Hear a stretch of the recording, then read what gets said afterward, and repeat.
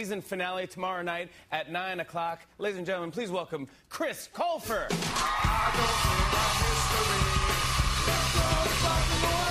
Hey,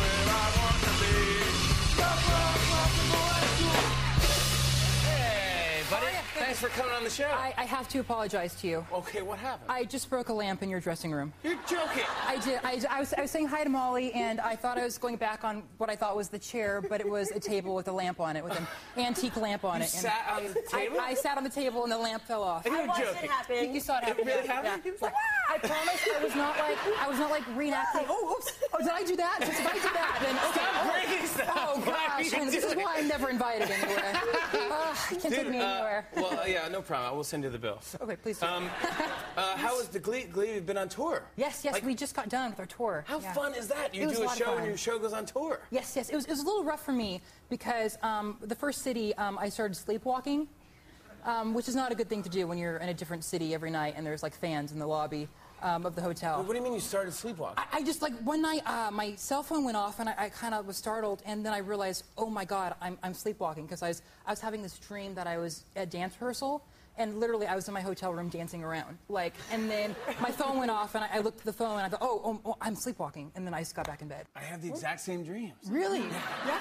Oh, cool, cool. Yeah, I'm just dancing around my good to hotel know I'm not alone. Yeah. It was- what do you think it's from? Like over, like thinking like. Ambien? Um, no, no. I, I, wish, I wish it was like a drug, but I, I, I heard that sometimes like heat can cause sleepwalking, or maybe maybe it's just because I'm crazy. I don't Heat? I don't know. Yeah. God, it was too hot in your hotel room. Yeah, well, 'cause we were in Arizona. That's why. Oh, everything's hot in Arizona. Yes, yeah. everything, right. Yeah, they actually have misters at restaurants in Yes, Arizona so yeah. that people don't die. Right. Or people like me. Yeah.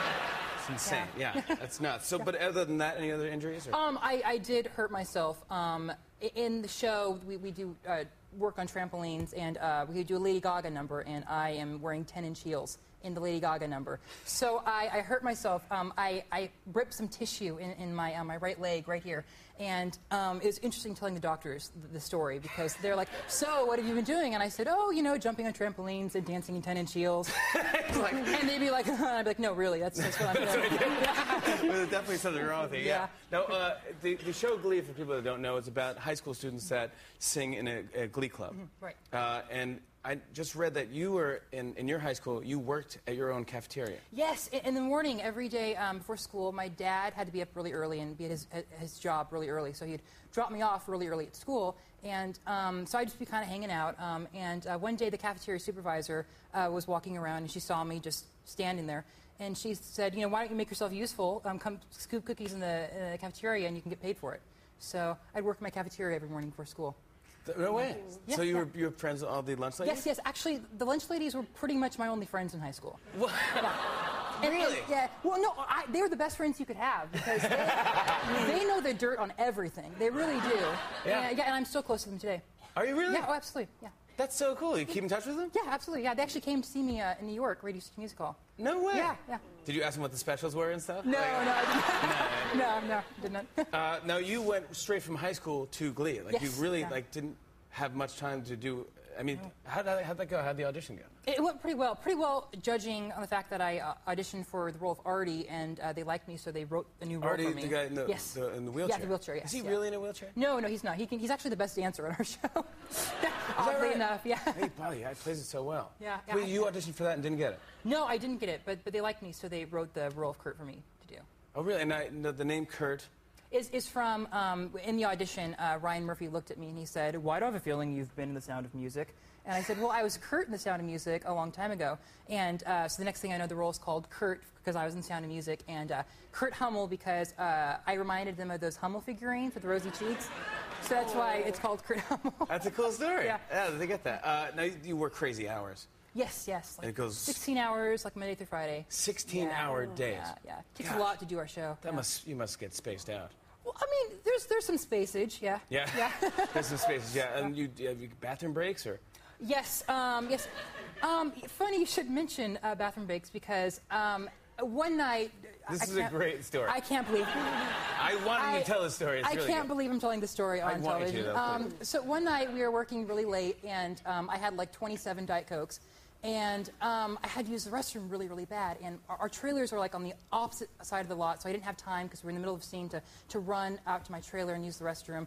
So the stage manager kind of like said, okay, there's a bathroom, you know, in this building right next to our, our sound stage. Just you know, this is how you get to it. So I said, okay. So I kind of I kind of found the, the path that he mentioned, but you know, it was, it was a little odd. And and I, I, I got to the restroom, it was fine. But then I noticed that the toilet wouldn't flush, and I thought, oh, that's weird, but it must be one of those, you know, eco-friendly, save the world as you're peeing toilets, you know. Um, and then I went to the sink, and the sink wasn't working either.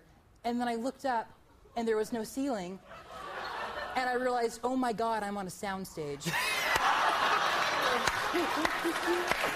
You were on a set of a TV show. Yes, yes. I was, I was on a set of another TV show. You, it was the set of Monk, right? the set of Monk, yes. Yeah. Yeah.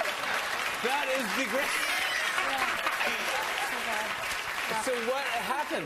Well, I, I, I got back and they're like, "Are you okay?" And I'm like, "Yeah, I'm fine, fine, I'm fine. Nothing, nothing happened. Nothing happened."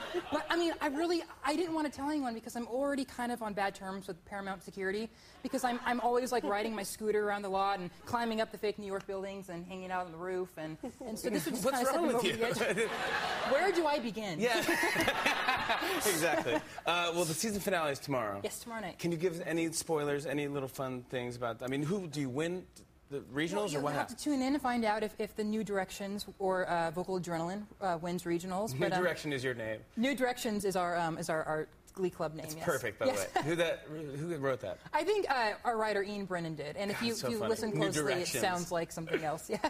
Oh, Yes. It does. Did you ever? Yeah. Okay. Oh, I don't know if I was supposed to say that. That's a spoil. Like New Directions. Y- yes. Yeah. I just said New Direction. I did not know. I, I'm so fired. Did not know that. yeah. I learned a lot. learned a lot today. Sorry. Sorry about Yeah, that. uh, but you Sorry, can't. Fox. So you can't. So, but, but what happens is you go into the you go into the regionals, yes. and I, 'cause I know this. You pick a song that you normally wouldn't pick. Yes, we do. We do. Yes. More journey, as it happens to be. Yes. It's a, wait. That's a spoiler. Oh, it, it is. Oh, damn. Um, Spoiler okay, alert. I, oh, like I said, this is why I'm not invited to places No. because I just ask. No, that's great. I love you. break things. Thank I give things away. No, this um, is great. Oh, yeah. Again, we'll Yeah. send you the bill. Oh, thank you. Thank no you. problem. Chris Colfer Yeah. right there, everybody. Glee season finale tomorrow at 9 p.m. on Fox. We'll be right back with Ian Poulter.